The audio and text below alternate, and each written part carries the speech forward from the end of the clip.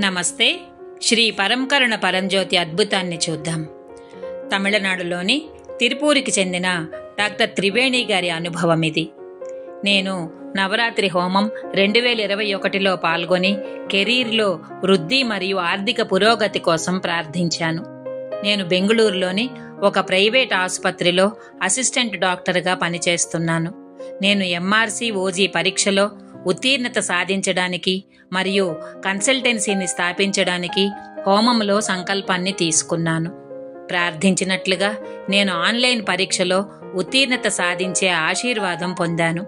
శ్రీ పరంకరుణ పరంజ్యోతి అనుగ్రహంతో మా అమ్మ లండన్లో నా స్నాతకోత్సవానికి హాజరయ్యేందుకు వచ్చారు. ఇంకా నేను నా స్వంతంగా కన్సల్టెన్సీని స్థాపించగలిగాను. నా కెరీర్లో జరిగిన ఈ అద్భుతమైన మార్పు కారణంగా నేను ఆర్థికంగా అభివృద్ధి చెందాను.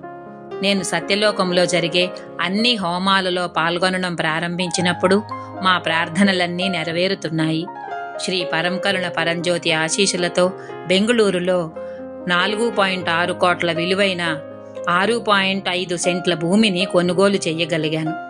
శ్రీ పరంకరుణ పరంజ్యోతి నాపై కురిపించిన అపారమైన కృప వలన సంపద మరియు శ్రేయస్సు నాకు లభించాయి. వారికి అనంత కోటి కృతజ్ఞతలు తెలియజేసుకుంటున్నాను.